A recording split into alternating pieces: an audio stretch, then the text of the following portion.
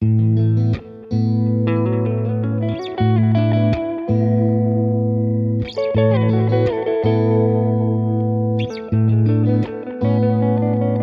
permita que ninguém limite seu espaço, diminua seu valor, roube os seus sonhos, atrapalhe seu sorriso, estreite seu caminho te peça de avançar.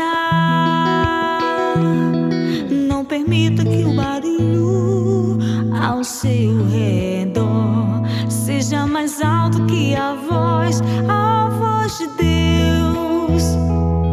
Os outros só acham, mas Deus tem certeza de quem você é.